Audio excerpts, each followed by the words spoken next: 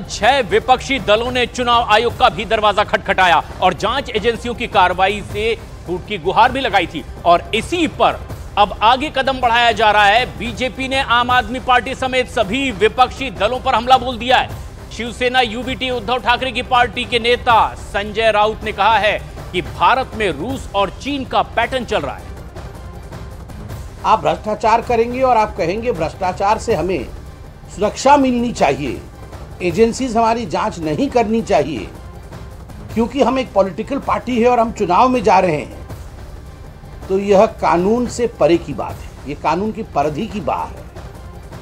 मुझे आश्चर्य होता है, ये जो विरोधाभास है इन पॉलिटिकल पार्टीज़ के बीच में, आपस में जो विरोधाभास है, वह भी पब्लिक डोमेन में है। आज कोई व्यक्ति सुरक्षित नहीं है देश में। किसी को भी अरेस्ट हो सकते हैं। कानून नहीं है। जंगल राज चल रहा है। जैसे रशिया में पुतिन का चल रहा है। चाइना में चल रहा है। यही पैटर्न यहाँ चल रहा है। इसे गुजरात पैटर्न बोलते हैं आजकल। दरअसल आम आदमी पार्टी के नेता संजय सिंह के जेल जाने के बाद जब जाँच आगे बढ़ी तो पहले दिल्ली से दक्षिण भारत तक आरोपी एक के बाद एक शिकंजे में आने लगे और फिर दिल्ली में अरविंद केजरीवाल तक के इस जाँच की आँच पहुँची और तमाम समन्स के बावजूद आखिरकार अरविंद केजरीवाल को सलाखों के पीछे जाना पड़ा।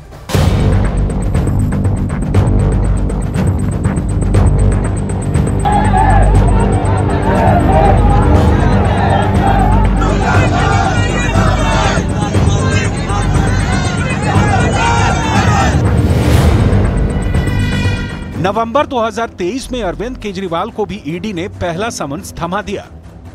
दिल्ली शराब घोटाले में मुख्यमंत्री अरविंद केजरीवाल का नाम सबसे पहले मूंगटा श्रीनिवास सोलू के बयान के बाद आया। मूंगटा ने बताया कि साल 2021 में उसने दिल्ली में शराब कारोबार के निजीकरण का विज्ञापन देखा और 16 मार्च 2021 को दिल्ली पहुंचकर इस सिलसिले में केजरीवाल से मुलाकात की। मुलाकात के दौरान केजरीवाल ने तेलंगाना की तत्कालीन सीएम के की बेटी के कविता का ज़िक्र किया और बताया की उन्होंने शराब कारोबार पर उनको अप्रोच किया है। साथ ही आम आदमी पार्टी को सौ करोड़ रूपए देने का ऑफ़र दिया केजरीवाल के इस संबंध में मूंगटा को के कविता से बात करने को कहा, जिसके बाद दोनों के बीच अग्रीमेंट भी हो गया। समझौता होने पर मूंगटा के बेटे ने साउथ लॉबी को 25 करोड़ रुपए कैश दिए।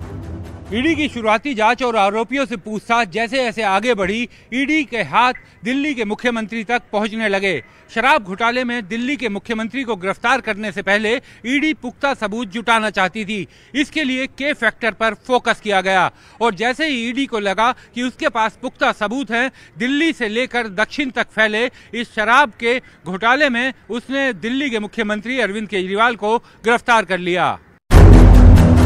इसके लिए ईडी ने एक तरफ़ केजरीवाल के लोगों पर शिकंजा कसना शुरू किया तो दूसरी तरफ़ के कविता के करीबियों पर भी एक्शन शुरू कर दिया। एक तरफ़ ईडी ने केजरीवाल के डिप्टी मनीष सिसोदिया, सांसद संजय सिंह और विजय नायर को अपने शिकंजे में लिया तो दूसरी तरफ़ के कविता के करीबी अभिषेक बोइन पल्ली मूंगटा, राघव रेड्डी और शरद चंद्र रेड्डी की भी घेराबंदी तेज की।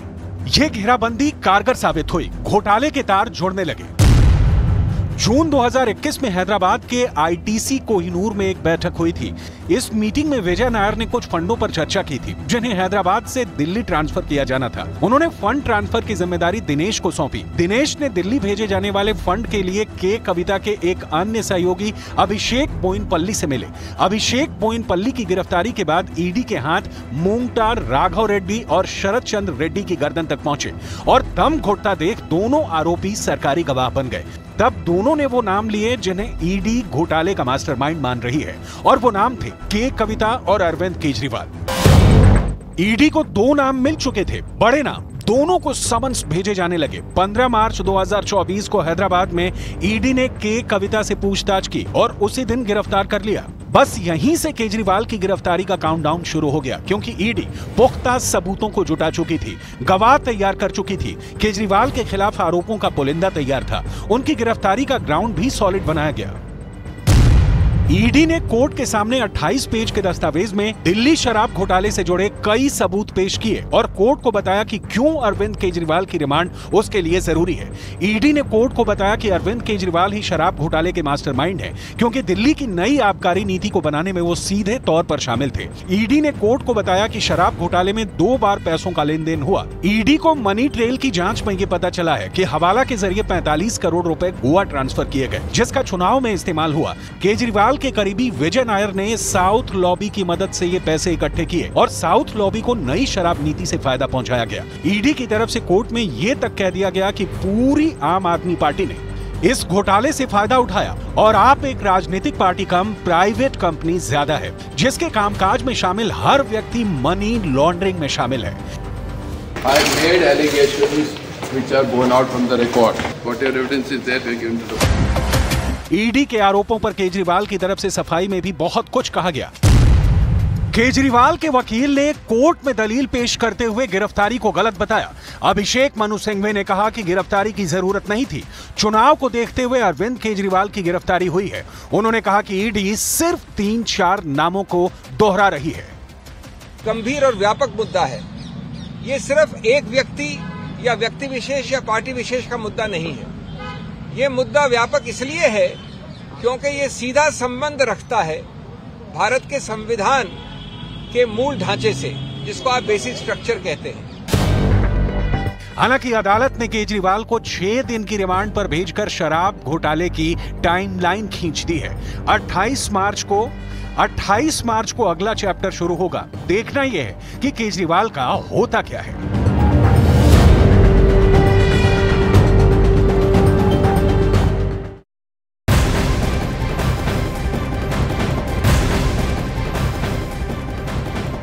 जहाँ इस पूरे मामले में कार्रवाई लगातार चल रही है, वहीं बड़ी खबर आ रही है हैदराबाद से, जहाँ सुबह से ही ईडी की एक बड़ी कार्रवाई देखने को मिल रही है। छापेमारी लगातार कई ठिकानों पर की जा रही है। ईडी की टीम एक साथ कई जगहों पर छापेमारी कर रही है। ये छापेमारी के कविता के रिश्तेदारों के यहाँ की जा रही है। हालाँकि ये रेड आखिर किस मामले में पर्टिकुलर छापेमारी हो रही है, ये ईडी अब तक साफ़ नहीं कर पाई है, लेकिन कई सबूत जुटाने की कोशिश की जा रही है और खास तौर पर निशाने पर हैं कि कविता के करीबी उनके रिश्तेदार। और ऐसे में अब एक साथ कई जगहों पर ईडी की यह छापेमारी चल रही है। के कविता की रिमांड और अब आखिरकार जिस तरह से कार्रवाई चल रही है, दिल्ली की शराब नीति मामले में अब ईडी एक के बाद एक कई तार जोड़ने की कोशिश में है। अरविंद केजरीवाल को भी अब रिमांड पर लिया गया है। वहीं के कविता के रिश्तेदारों के यहाँ छापेमारी चल रही है।